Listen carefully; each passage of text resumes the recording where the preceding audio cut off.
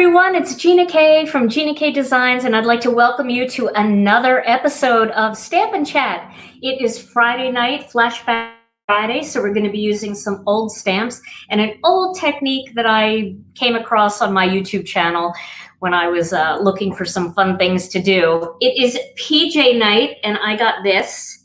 It looks kind of just like a t-shirt, but but I got my sleepy headband on here, and I am ready for a pajama party tonight with you guys. I hope you all had a great day. Today in Wisconsin, it was absolutely beautiful weather. Um, must, must have been about 70 degrees out there. Felt like a beautiful spring day, and the sun was shining, and uh, lots of good things are happening. I have some good news to share with you, especially those of you who are still waiting for your orders. We are still at about 14 to 15 business days, but on Monday, our staff comes back. So this weekend, we are redoing everything in the whole building, kind of making stations for everybody, making sure that everybody is going to be social distancing. And, uh, but I'll tell you, the girls that work for us, they are amazing. They can really get orders out fast. So I'm sure it'll take a little bit to get used to the new system, but we should be much faster with a full staff back and all of our wonderful people that assemble our products and make everything. So I'm really excited about that. And I can't wait to see them. Even though I can't give them a real hug, I'm definitely going to be giving them a cyber hug from across the room. Well, I wanted to talk about our topic tonight. So our topic, for those of you who who've seen this before, we always have a little topic to talk about. Tonight's topic is catastrophizing and forecasting. So catastrophizing and forecasting, they are very, very hip terms in the uh, therapy world today. Ask me how I know. And these are two things that I do all the time. And you know what? I should have thought about this a little bit better because I'm very distracted by the fact that this blue doesn't match this turquoise, this teal blue. Sorry about that. So, catastrophizing and forecasting, we all do it. I know we all do it. It's not hard to do these days. It's easy to kind of think of the worst case scenario. And um, I am I am great with that. I've been I've been doing that since the beginning of time. I can't tell you how many times my kids have come to me and said, Mom, can I do this? Or Mom, I do that. And I immediately go to the worst case scenario. You know, Mom, can I go to a party? Oh my God, you know, there's going to be this and the cops are going to come and like the worst case scenario. And I know a lot of you do it too. And especially right now, as we see things opening up, a lot of us are catastrophizing and we're forecasting. So catastrophizing itself means kind of overthinking things and you start to create problems that aren't even there in the first place. And forecasting is predicting the future. And even the forecasters who predict the weather with all of their fancy equipment only get it right half the time. So forecasting doesn't work. Catastrophizing doesn't help. So when you overthink when you overthink things, you do start to create problems that aren't even there. And a lot of what we build up in our head are just stories. They're not facts.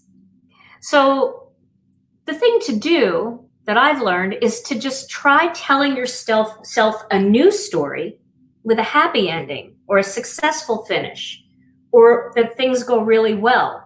We tell ourselves stories and we start to believe them. So why not tell ourselves good stuff? So one of the things that I was doing a little research on catastrophizing and forecasting, and I found this list of questions that you can ask yourself. And there's three really good questions that you can ask yourself when you start to do this, because it creates a lot of anxiety. I know it does in me. The first question is, am I 100% sure that that's what's going to happen? Well, you can't be because you don't have a crystal ball. How many times has this actually happened before? Well, most of the time, it's never happened before, and that's why you're worried about it because it's new and you're nervous. And is this based on the way I feel? Is this based on facts? And if you ask yourself those three questions, hopefully you'll be able to start telling yourself a new story with a happy ending and a successful finish. So tonight we're going to play with metallic cardstock and we're going to play with embossing powder. Now I saw a couple questions in already kind of going on in the chat where you guys were asking, am I talking about cardstock? Am I talking about foil? Am I talking about glitter? You know, you can use any kind of shiny cardstock that you want for this. You can use a glitter cardstock if it's smooth. You can use a foil cardstock if you want, or you can just use a metallic cardstock. And that's what I'm going to use.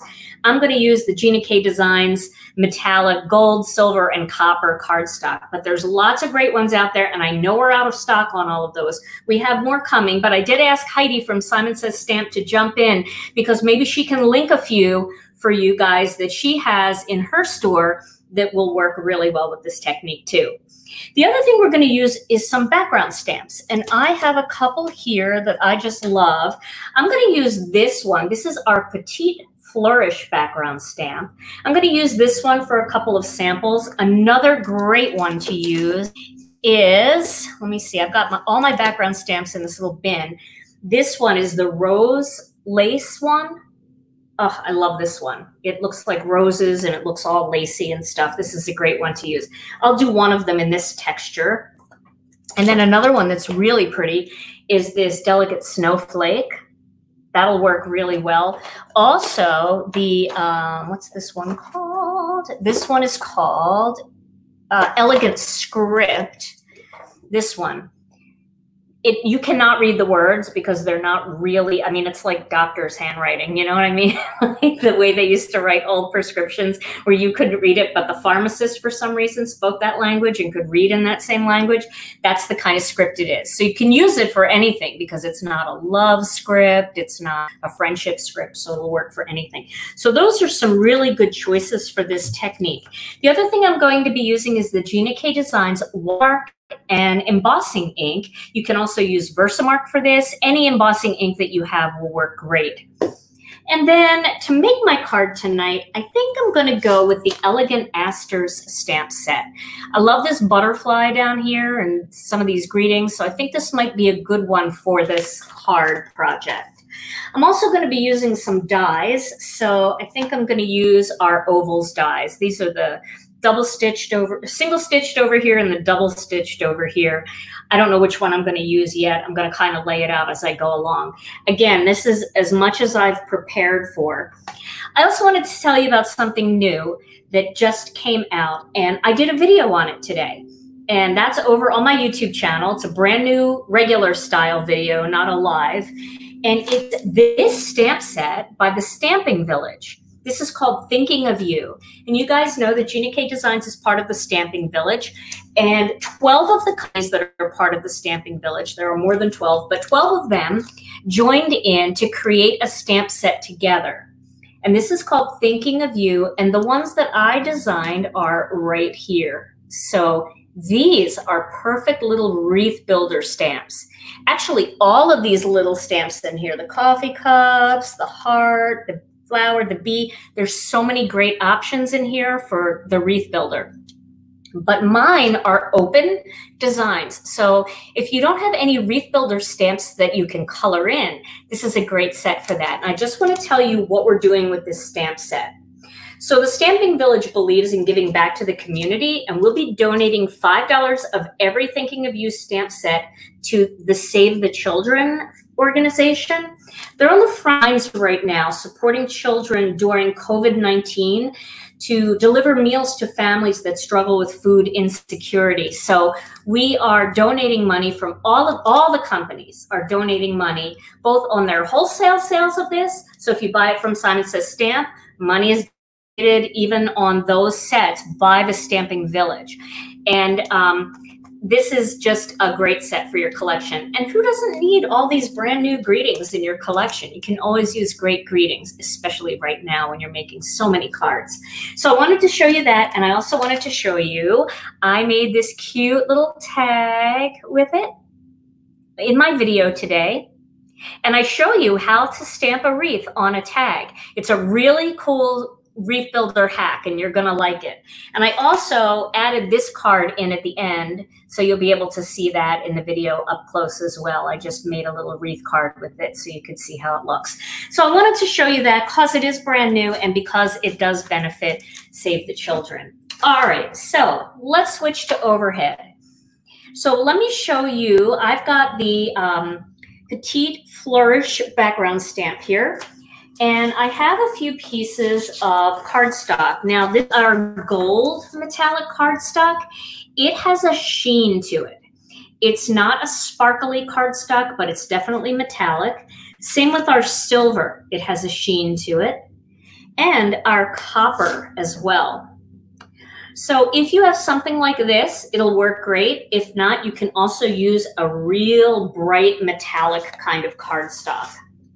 So I'm going to get my paper cutter here and I am going to cut out a piece of the silver and I'm going to cut that at three and three quarter inches by five inches. And then I'm going to cut a gold one the same way. I'm just going to do all these now. Cut a gold one the same way. And then I have a piece of copper that I'm going to cut. And I do have some samples of this that I had at Creativation. And I dug them out. And I have those to show you with some of the different embossing powders on them. But let me show you how to do this. I'm sorry, my neighbor's cutting his lawn right now. And I don't know if you guys can hear that. It feels really loud here. So let me know if you can hear that. I don't know. Oh my goodness. You know, that's the live thing, right? You can't control it. Now, normally when I do my voiceovers, I go up in my bedroom closet and I close the door, and it's really quiet in there and it's really dead in there because there's clothing. Um, here in my stamp room, I've got wood floors and walls that are bare, and so there's a lot of echo, but that's okay. We can make it through. Hopefully, it's not too distracting. So, here are the three pieces of cardstock that I'm starting with. And the background. Sorry about that. Yes, sounds of spring. I love that. My window is closed. Let's start with the silver. So what I'm going to do here is I'm going to use silver with the Gina K Designs Fine Detail Silver Embossing Powder. And I'm going to start with the Embossing Magic Pad, and I'm going to rub that all over the surface of this silver cardstock. Now, if you have a glass mat or you have a sticky mat or even just a countertop surface, these background stamps have cling on the back. And if you put that down onto your glass mat, it will stick. So you don't really need to worry about an acrylic block for these. I just have a piece of cardstock here on a very dirty mat, but I'm still not going to use, I'm not going to worry about it. It's going to be fine the way it is. Now I'm going to take some of the Gina K Designs embossing and watermark ink, and I'm going to ink this background stamp up really well. I want to get it nice and juicy. And embossing and watermark ink stays wet longer than other ink, so you don't have to worry if you're not, you know, really super speedy at this technique. You can take your time. It's just you have to get it all inked up. I prefer using background stamps on their back and inking them up this way. I just think it works better. So what I'm going to do is I've got the embossing magic on here. I'm going to turn that upside down and I'm going to just touch it to the one side and let it drop. Then I'm going to get another piece of cardstock and I'm going to put that on top and I'm going to rub my hand all over. I'm holding the cardstock still so it's not shifting around under there with this hand. And this hand, I'm just rubbing it all so it's making contact with the entire background stamp. If you struggle and you get shallow spots on your cardstock when you're using backgrounds, this will eliminate that problem. Okay, so now I'm going to lift that up and I have embossing ink all over that. Now you can't see it, but I can see it. So now I have a little piece of folded cardstock here, and I'm going to get my silver embossing powder, and I'm going to sprinkle that all over this silver cardstock. The silver on silver is spectacular. So think about cards like when you're trying to make cards for a, a 25th wedding anniversary or even a wedding. I mean, this look is just stunning. This, let me just blow the excess off. This is quite an amazing look. So I'm going to put this down for a second and I'm going to get rid of all this embossing powder. Do that. And I'm going to just sprinkle this into my trash can. Get rid of that excess. Okay, so now I'm going to use my Wagner heat tool. If you get embossing powder where you don't want it, you can use a little brush to brush it away. Um, I have a little bit in some places, but I'm not going to worry about it too much. Now, I like to heat up my heat tool a little bit before I actually start to use it. It kind of cuts down on the warping, but you can see the embossing powder on there. It looks gray. And that's a really nice way to see what light gray cardstock looks with gray ink. It's a really pretty two-tone look. But when I start to emboss this, it just, oh, it's so pretty. So I will turn this into the light so you can see all the prettiness.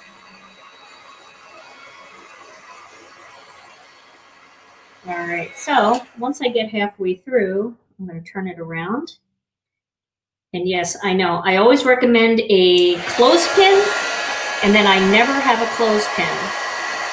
But a clothespin, a wooden clothespin, not a plastic one, or certainly nothing metal, but a wooden clothespin is really great for this because you can hold it in place. I tried tweezers, but I actually kind of got them too hot and the whole tweezer got hot and that wasn't fun.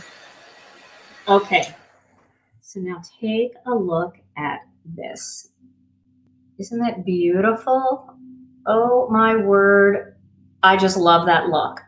Metallic on metallic is stunning.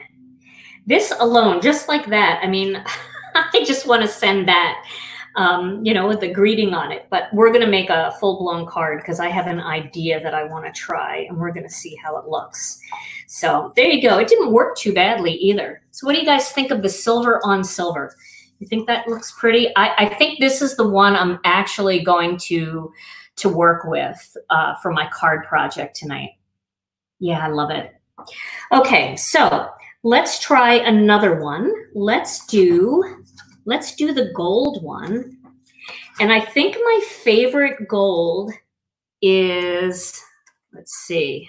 I want to show you these two samples from, um, no, I'll, I'll wait. We'll do it. We'll do it as a surprise. Okay. So I'm going to use the embossing magic pad again. And I'm going to use the same stamp again. Should I? No, let me use let me use, let me use the script. I feel like that one would be really pretty. Okay. So if you get a background stamp and you see any little white pieces on it, um, these are actually cut on a precision cutter and sometimes the little foam on the side just kind of flakes on there. So just get a soft cloth and just brush that away. I don't know why I have that on mine. I've used this one so much, but I guess it just kind of creeps on there sometimes. Okay, I'm inking this up really well again with embossing ink.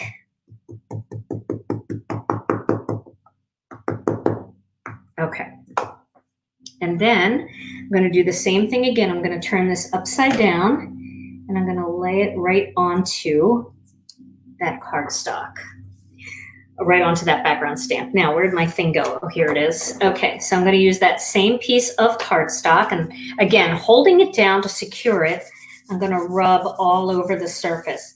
I'm telling you, I have pressed and practically stood on stamps trying to get them to stamp well. And um, sometimes it's just hard. And it's not that there's anything wrong with the stamp. It's just so big.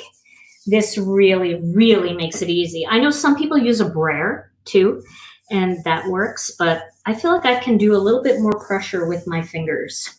Okay, so now I'm gonna lift that. And then for this one, I'm going to use, you can use the fine detail gold powder, but I want to show you what brass band looks like.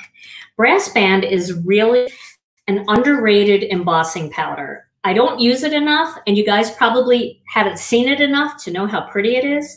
but I have to show you this tonight. So brass band isn't the same amount of fine detail as um, the fine detail gold. But when you're doing something like this, I don't think it really matters. It just really, I just love the color up against this gold. So now you can see what that looks like. It looks like a hot mess right now. But let me put that aside and get rid of the brass band. That's what I say about every project that I make when you guys aren't around. Oh gosh, this looks like a hot mess right now. And then somehow some of them actually turn into something that's worth it. but you know. Okay, so now I'm going to emboss this. This should be pretty hot. This embossing powder is amazing. Oh yeah.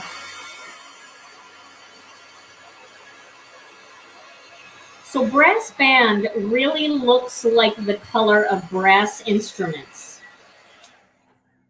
Let me turn this and not put my finger in it. Where our fine detail powder looks a little bit more antique. So you can look at both and decide which one you like the best. But this brass band, like I said, it's really underrated because I don't use it enough, but it is absolutely spectacular. Let me just do a little bit more in the center here. Okay. Ooh, look at that. That that looks like that looks like a metal plate. That's so pretty. I love it. Oh, sorry, I just bumped the camera. Got too excited. Okay, so that's what brass band looks like. Now let me show you the difference so that you can really see the difference in the color between the brass band on the metallic gold and the fine detail gold. So here I use the Petite Flourish with brass band, and I just love that look, right? Now here is the fine detail gold. Completely different, right? It looks it's you can see it better definitely like on camera here but it has a whole different look than this. This actually looks like it's just pressed coming like pressed from behind the metal like embossed almost and this like dry embossed almost and this one it definitely looks like it's like foil stamped or something. So two completely different looks. Both are beautiful, but very different. So you definitely have to try your different embossing powders. Another one that's really pretty is this champagne one. So this one has a completely different look.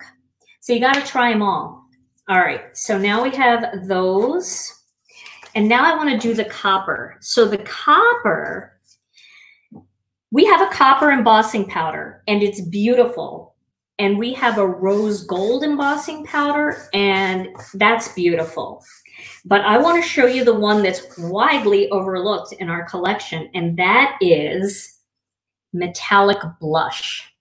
This color looks so dark when you see it in the bottle, in the jar, and you might think, oh, I don't want brown yuck i didn't i mean i you know i wanted copper i wanted something that's really going to work well with the copper. Or you might say oh good i really want brown and then you're going to be disappointed because this does not look brown when it's done. So let's use for this one let's shall we go all out and use the rose lace? Let's do that why not right? I've got everything everywhere here. Okay so i'm going to use this one with rose lace. So first I don't want to get ahead of myself. I want to get that embossing magic pad going because I am sure by now I have embossing ink all over my fingers. So I'm probably going to emboss some fingerprints. All right. So, and yes, you can see that I've used this with white ink. I've used it with all kinds of stuff you know, one thing that I do to wash my stamps after I use embossing ink on them, these big rubber backgrounds, and same with like pigment ink, I just take them into the kitchen and I use a little Dawn dishwashing detergent and a toothbrush. And I just brush them with a toothbrush and they come out perfectly clean. See, I was lazy here, but that really works well. And it gets rid of all the embossing ink, which can be kind of sticky. Okay, so here we go. We're going to do this and that. Okay, and then I'll get my cardstock again, put that on top. Oh, I'm full of embossing magic powder. And again, I'm going to go all over the surface of this and make sure I get good contact. So metallic blush it is. And then I do have a sample of the copper and the rose gold to show you.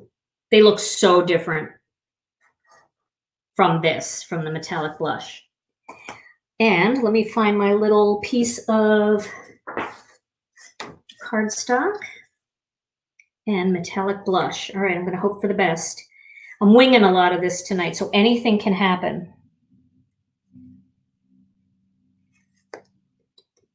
Sounds like he's mowing the neighbor next door now. It's a good night to, to mow. I'm telling you, it's beautiful out there. But it's a better night to make cards. okay, so now you can see what that looks like. Isn't that a pretty stamp? Oh, it's so lovely. I, I like this one so much. Now this one, you're going to lose a little detail with this embossing powder just because it's not a fine detail powder, but I still love the way it looks. Okay, let me get rid of this before I start embossing. I'm always afraid if I leave the powder sitting on the desk in front of me that the heat from my embossing gun is going to emboss the whole thing. All right, here we go. This is like so surprising the way this comes up.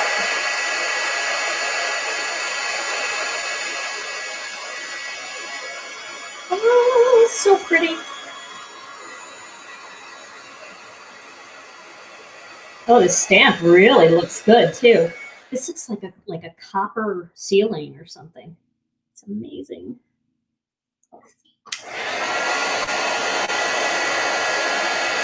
Embossing on metallic cardstock is so fun. So fun. All right, almost done. Embossing is magic. it really is. It's magic.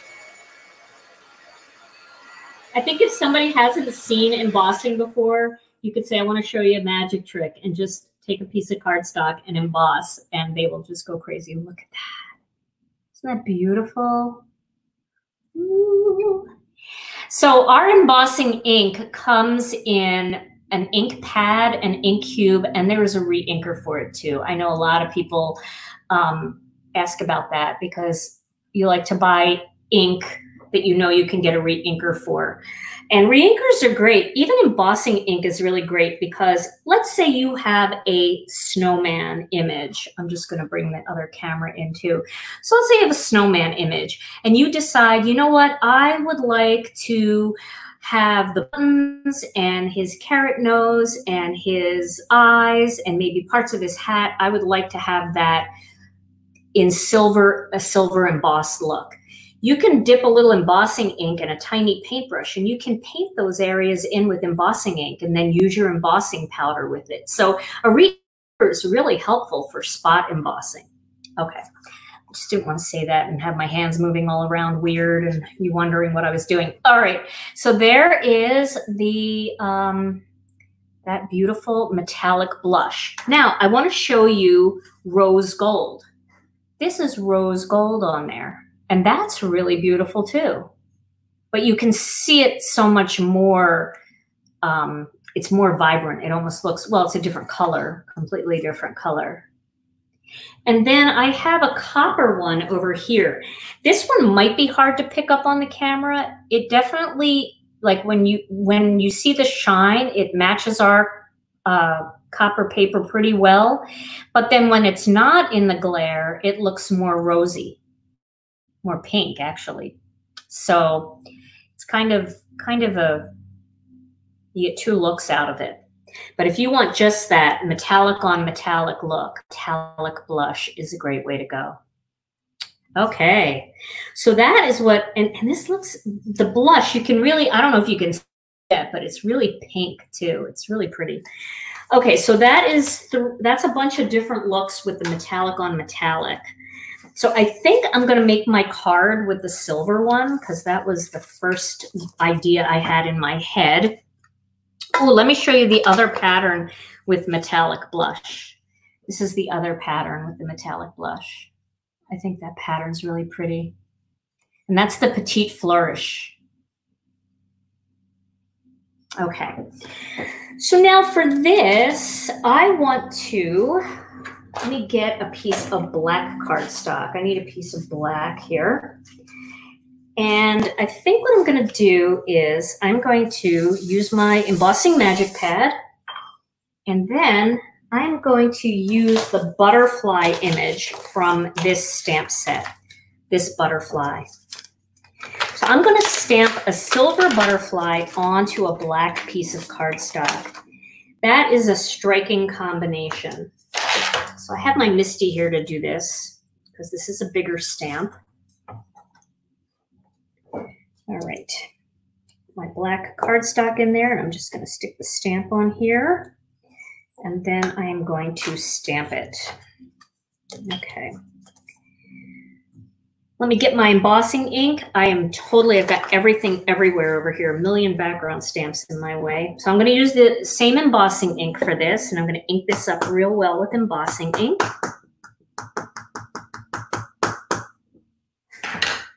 Sure that's in place.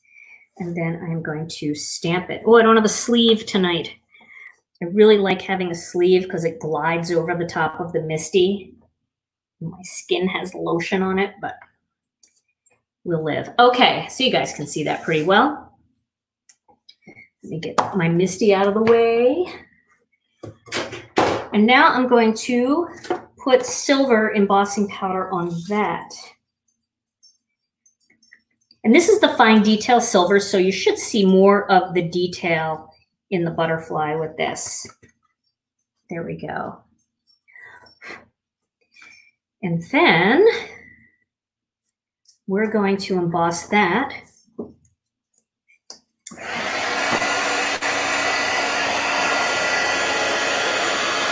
So if you ever want to emboss metallic things like flowers and butterflies, try them with black because that is just stunning. Isn't that pretty?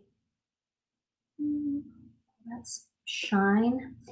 Okay, so I'm going to put that aside, and then I'm going to cut an oval. So I'm going to need my die cutting machine for this. I'm going to cut an oval. So let me get my die cutting machine over here. And then I'm going to switch to here. Hi, guys. And welcome, everyone. We have so many people here on a Friday night. It's so great to see you all. I see people from all over the world, too. That's so exciting. I'm going to cut an oval using the Gina K Designs double stitched and single stitch. So I'm going to use the double stitched one first. So the way I'm going to decide that is I'm going to pick a greeting. I think I'm going to use this greeting, the follow your dreams. They know the way. They know the way. That's a really great graduation saying, isn't it? Follow your dreams. They know the way. So I think I'm going to do that on the medium sized oval. So with that in mind, I'm going to cut in black medium sized oval out of my cardstock. And this is the double stitched oval. So, a little bit of decorative edge to it. I'm not even sure that I need a background for this. This double stitched oval might do it all by itself. But now if I'm not going to use that, I have to I have to kind of look at it together. So I'm going to kind of do a layout like this. And I don't want it to be too big because I don't want to lose a lot of the background. So I think I'll stick with this size. And I'm not going to cut um, a single stitched one yet. I'm going to wait and see how the card looks. If you guys think I need it, I'll cut it. But if you don't think I need it, I'm going to leave it. I generally do um, always a layered oval, but I think this time, because of that background, I might not need it at all. Okay, so I'm going to get my MISTI again. And for this, I'm going to actually flip this over. So I don't know if you guys know that this MISTI, they make a mouse pad for it, and that's what this is. And I always tack down my pad with some purple tape. This way it doesn't shift around. So I'm going to use this side for that. I use the black side when I'm doing the wreath builder because it helps me really be able to see the template and, you know, distinguish the difference. It's harder to see on this lighter color, but if you're using a piece of dark cardstock, this side is really good. So I'm going to find my tape and I'm going to just tape this down because I don't want it to move. I'll try to get it nice and straight here. It looks pretty straight. Okay. All right, so I'm going to use a little embossing magic here. And then I'm going to go with follow your dreams. They know the way. You know, all these sayings are really nice. You're such a gift to me. You are loved. They're great sayings for friendship cards and just cards where you want to encourage people. Follow your dreams. They know the way. And I'm going to put that more toward the top. And this is a very scripty greeting, so you don't have to worry too much about it being straight. It won't look crooked, even if it is a little crooked, because it's hard to tell what crooked means on this. Okay, so stamp that.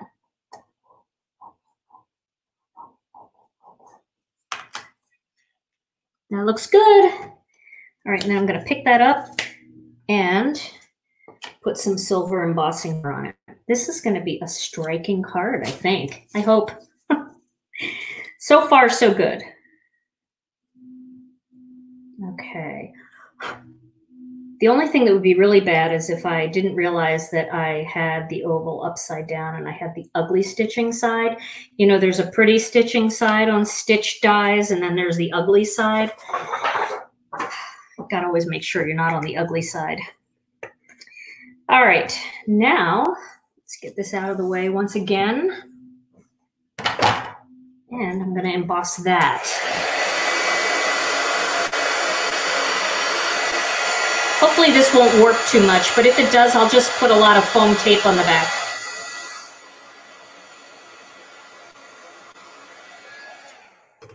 It's getting hot.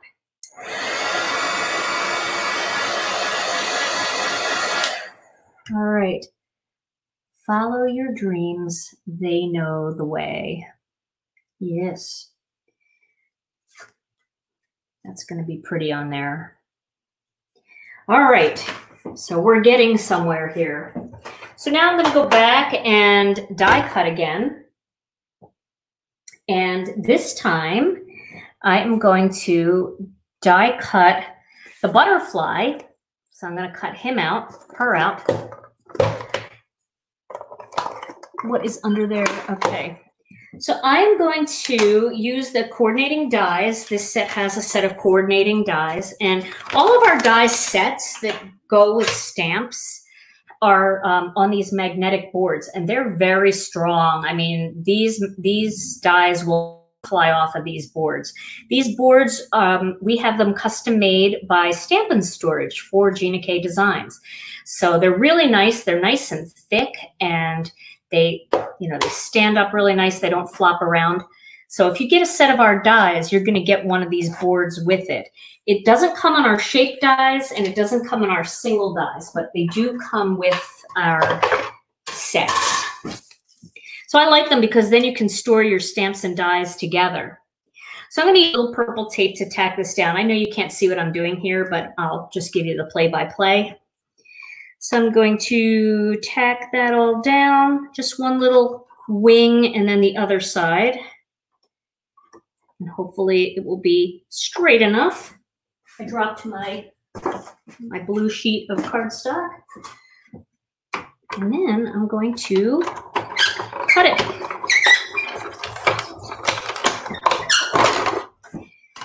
And so usually we see the white little edge around the die, around the image, but here you have a nice little black edge. And that looks really cool, doesn't it? It's just different looking. I love it. It's real graphic. Okay. Let me move this out of the way. Just piling machines up. Misties or other things. Okay, now we need a paper cutter because we're going to assemble this card. Is a long card. Okay, so I'm going to get another piece of black cardstock here, and I'm going to cut that down just an eighth of an inch smaller. So somebody was asking, what are my borders, eighth inch borders or what? They're actually 16th of an inch borders. And the way you get there is, let me do my overhead camera. Here we go. Okay. So the way you get there there we go. Come into, there we go. So I always go to the three and three quarter inch mark because that's what my bigger piece of cards, my smaller piece of cardstock is, my background. And then I just sneak it up to the one eighth bigger than that. That was almost there. And then this one is five, my, my silver one is five inches, so I'm gonna sneak it up to the five and an eighth inch mark. And that gives me a 16th of an inch border, which is really just the perfect little amount sticking out. So I'm going to tape this down and I'm going to give it a little bit of extra tape because there's a lot of embossing on there. Let me get over my camera here so I can see what I'm doing. And this one, I don't know, maybe I've cut my silver one a little small, but I always seem to want to cut a little hair off the bottom of the black. So I'm going to do that. Just a tiny bit. There we go. And that makes it look perfect. Oh, I love the silver. Kind of looks like tinfoil. I tried embossing tinfoil with an embossing folder, and I made a video about that. That's actually on my YouTube channel from a million years ago. And it was a pretty cool video.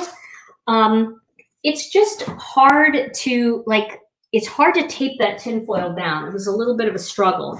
This kind of, and this looks better. All right, so I'm going to get my embossing buddy, and I'm gonna make a card base. I thought I had a bigger one cut, but maybe I did not. Wait a minute, let me just look around for a second because here it is. I want to do a top fold. So this measures four and a quarter by 11 inches, and I'm going to score it at five and a half inches. This is just the standard A2 size card. And then crease it. We do have envelopes to match our silver and our copper and our gold too. It's nice to have that perfect match. Ooh, that's nice. What do you guys think? Isn't that just pretty by itself? You could put a big, beautiful, scripty word over that. The trimmer that I'm using is the We Are Memory Keepers trimmer, and I really like it, but I have to tell you that my favorite small trimmer is the Tim Holtz trimmer. So if you can get your hands on one of those, they are fantastic. Um, I have one at work, and I use it there, but I don't have one at home. And this one I got, actually, I got it, I think, on clearance somewhere. So I liked it because of the pretty color, but I've had a little bit more luck with the Tim Holtz one cutting really well. Okay, so there's my card base. Now, I'm going to just see, do you like this or do you think it should have some little border around it? Because I'm going to put this butterfly down here like that. I think that's really pretty. I think I'm going to go with it. So I'm going to tape this oval down right onto the card. And I'm using a lot of tape. And I normally don't use that much tape. But because this oval had a lot of embossing, it, it was a little warpy. So I'm going to stick that here.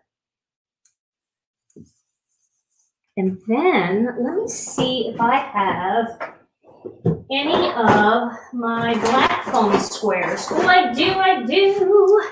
So I have the black foam squares and they're really nice when you're popping up something black like this because when you look at it on the side, you're not going to see that. It's kind of like, you know, wearing white underwear. you kind of see it and it's a little shocking. So I'm gonna I'm gonna go with the black foam squares.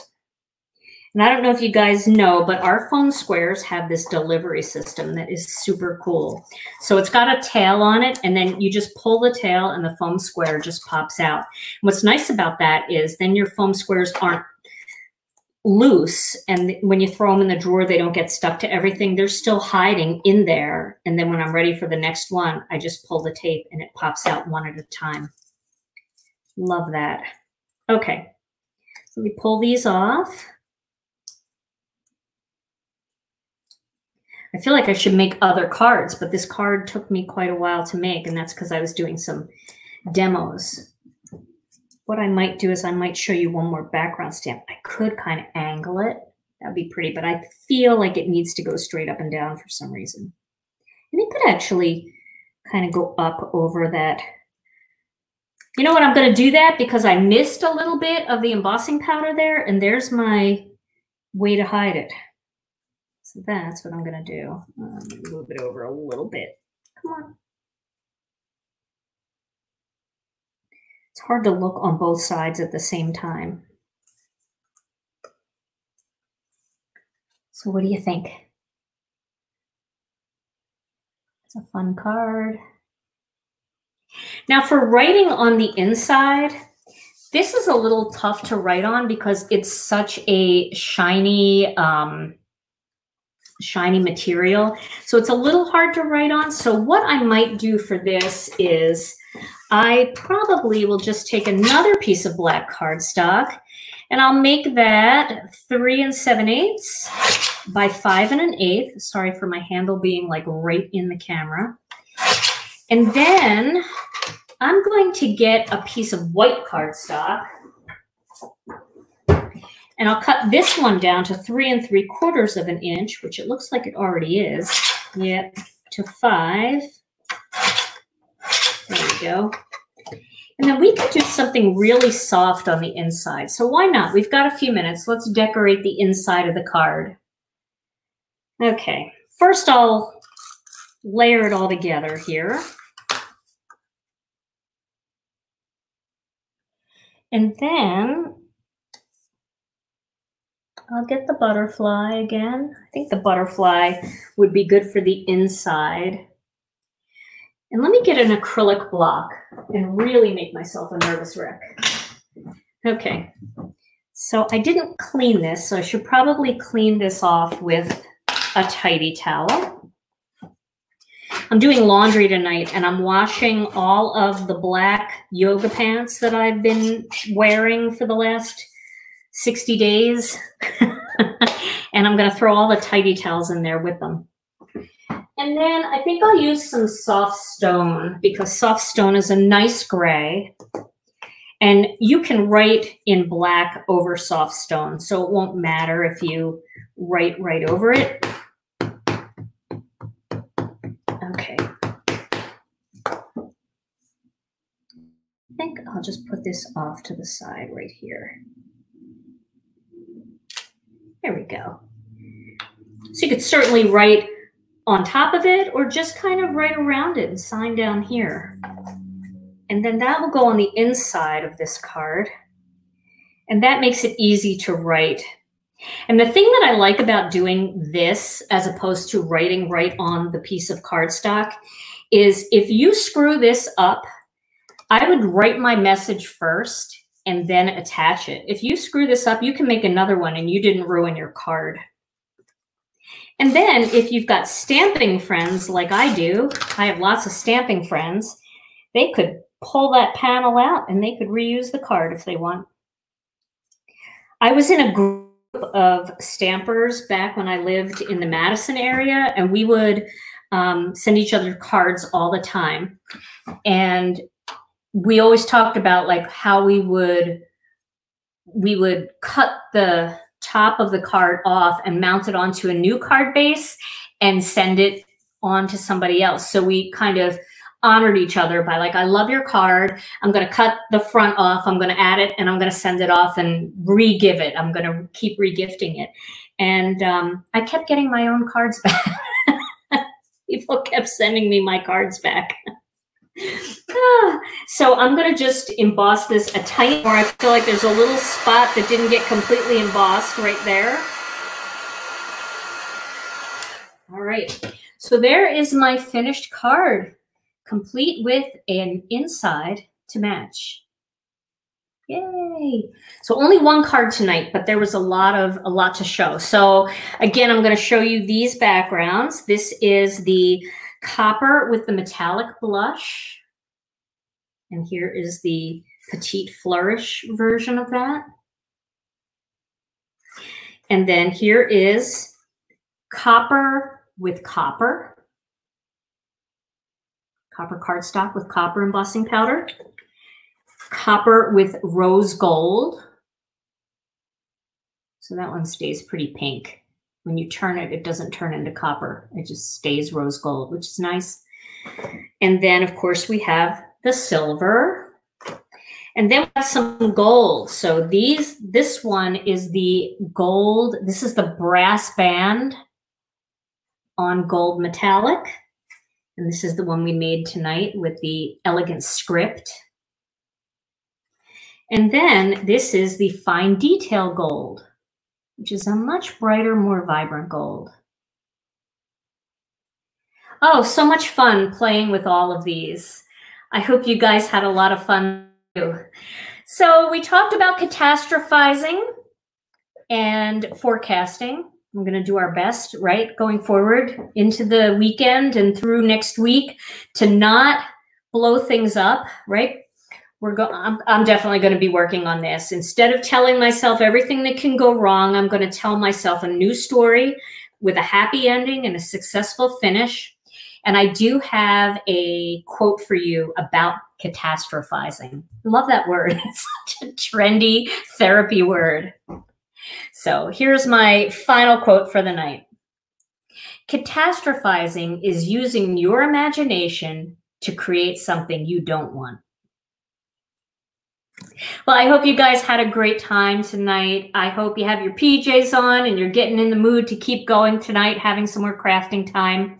So from Monday night, I'm going to be taking Monday night off. And here's why. I hate to take any nights off, but our staff is coming back on Monday. So I want to be there. I need to spend a lot of time there with everybody. I need to make sure that everything goes really well and everybody is safe and if we need things that I can get things for people and I don't want to bug out of there too early try to get home to get set up for a live. So I hope you understand. But I will definitely be back on Wednesday night for some Wednesday whimsy. And I'll be back next Friday for another PJ party. So you guys, thank you all so much for joining me. I hope you have a wonderful, beautiful weekend. I love you all.